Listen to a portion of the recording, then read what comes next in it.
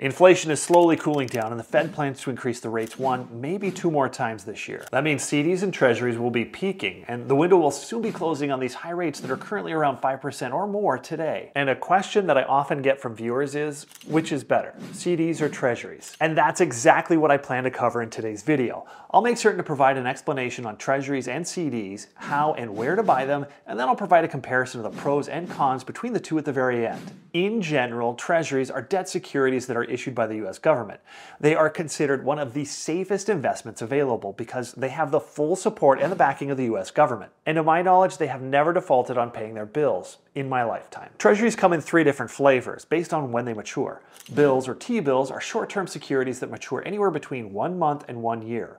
Notes are between 2 and 10 years, and bonds are either 20 or 30 years. These treasuries are considered to be marketable, which means that you can transfer the security to someone else or sell them before they actually mature, which is very different from I bonds and savings bonds that are non marketable, and they're set up specifically to a person's social security number and cannot be transferred to anyone else. When it comes to buying treasuries, you can get them directly from a US government site called Treasury Direct, and it's exactly what you would expect from the government. It's a bare bones site with a very confusing layout that will inevitably lead you in circles. But don't take my word for it, please feel free to kick the tires on that one. There happens to be a major difference between T-bills compared to the notes and bonds with regards to the interest payment and the purchase price. Bills are unique in that they are sold at a discount versus providing regular interest. For example, if a one-year T-bill is sold with a 5% rate and the minimum purchase for a T-bill is $100, you would be awarded your T-bill and charged roughly $95.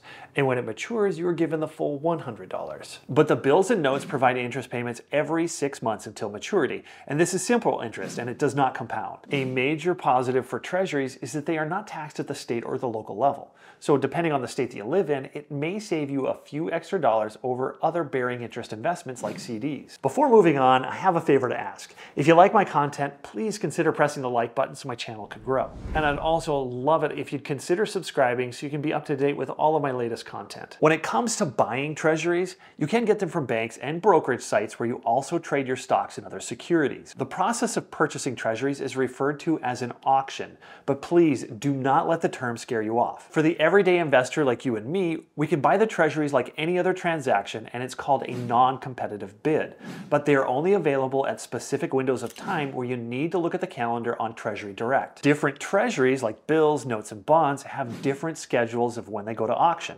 and each version is not offered every week. Large banks and institutions often buy treasuries at auction with a competitive bid where they can buy them at a discount to make a little bit more profit than the rest of us. So let's say you went through the process of buying a treasury, but you want to sell it before it matures. You can absolutely do that, and there is no early withdrawal fee. However, you do need to find a buyer from a secondary market.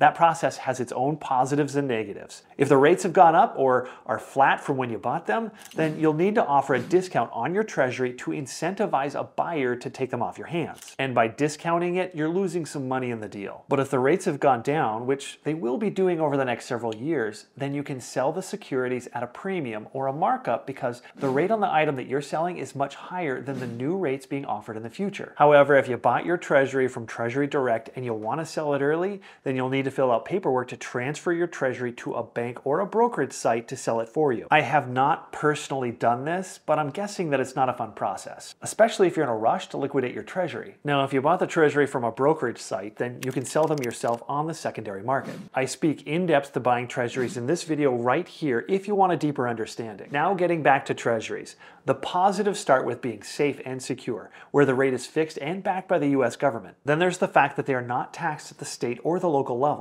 And the last one is that they don't have an early withdrawal fee, but you'll need to sell them either on the secondary market through a bank or a broker. And make certain to stay till the end where I provide a comparison between treasuries and CDs to see how they stack up against one another. The current rates on T-bills are at 4.75% for the six month. Notes are at 3.81% for the three year, and bonds are at 3.87% for the 20 year. Clearly, the short term treasuries are giving you the best bang for the buck right now. And when this occurs, it is referenced as the yield curve is inverted. It's not common, and it is one of the many indicators of a potential recession. Now I'll move on to CDs or certificate of deposits, which are a type of savings product offered by banks and credit unions, but you can also buy them via a brokerage site. In essence, you agree to deposit your money at a bank for a fixed amount of time, and in return, you're going to get an interest rate that's going to be higher than a savings account. There is a ton of variety in CDs where the maturity can range from three months to six months and at yearly intervals. And a person doesn't need to look hard to find 5% or more from the CDs that are being offered today. I'll make certain to share the top CD rates later on. Now, a big difference with CDs versus treasuries is that there is typically a fee for early withdrawal in the CD. And that fee is typically to forfeit one or two months worth of interest, but the fee is different for each bank, so make sure and research it. And many of you that follow my channel know that I am a big fan of no penalty CDs, where there's literally no penalty or fee for withdrawing your money at any time, and you get to keep all the interest that you've already earned. Just an FYI that there is a 4.8% no penalty CD for 11 months available, but there is a $1,000 minimum. It's the rate of a CD, but the liquidity of a savings account. And unlike treasuries, CDs are FDIC insured up to $250,000 per account. Regardless of where you buy your CD, whether it be from a bank or a brokerage site, you're going to want to verify if the CD is call protected or not. And if the CD is not call protected, then your bank can cancel your agreement at any time and pay you back your principal back along with whatever interest that you've already earned. Let's say that you have a three year CD that is not call protected with a 5% APY, and the rates drop down to 2% in year two. Then a bank could cancel your agreement on that CD and give you back your principal and your interest earned to date. This is obviously in the bank's best interest because they can offer you a high rate to hook you in, but then when the rates drop, they don't want to lose money on that CD. So instead, they simply call it back pay you off, and then they terminate the agreement. I personally only buy CDs that are call protected, so please read the fine print. When buying CDs from a bank, they typically have compounding interest, and they may state two different rates on the CD. They may have a fixed rate of, let's say, 4.89% that compounds to give the CD a 5% APY. Be warned, this can be a trap for some people because the bank may offer to pay out the interest monthly or to keep it in the CD. If you choose to have the interest paid out to you, then you won't ever achieve the 5% APY that's referenced in this example. Instead, You'd only earn the 4.89% because you aren't allowing it to compound and grow. But if you buy a CD from a brokerage site, they have a simple interest rate that doesn't compound, and it will be listed as just an APY. And as a reminder, APY stands for annual percentage yield, and it's a term of comparison that gauges performance in the moment with a reference point of a full year or annually. Let's say you buy two CDs where they each mature in 6 and 12 months, and they are both at 5% APY. Then they would both be earning the same interest percent at the monthly level but they simply mature at different lengths of time. I see a lot of people comment in my videos that it seems like very little money when CDs or treasuries mature at less than a full year and they think the APY is wrong. But at the end of the day, it's still a 5%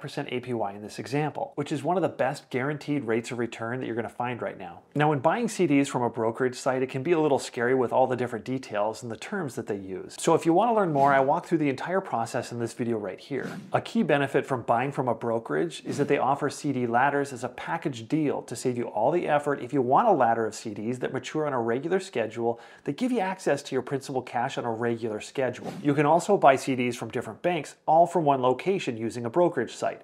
So if you want to buy more than $250,000 in CDs, you can easily buy them from different banks but all from one site and still keeping yourself fully insured. Another benefit of buying your CDs on a brokerage site is that they do not have any early withdrawal fees. Instead, a person can sell their CD on the secondary market with the brokerage site. Make certain to read the details of your brokerage site as many charge a fee of around 0.1% for CDs being sold or bought on the secondary market. But as a bonus, CDs on the secondary market can be very lucrative. I literally found one a few weeks back that was over 6% because someone needed to move it quickly and get their cash. The CD offerings on a brokerage site change every few minutes, so it doesn't hurt to look often. Here's a listing of all the top CD rates offered today. The three month is from Citibank at 5%, six month at Axiom Bank at 5.15%, then there's Brio Direct at 5.25%, and the last one I'm showing is from North American Savings Bank at 5.28%. Now I'll provide a high level comparison between treasuries and CDs,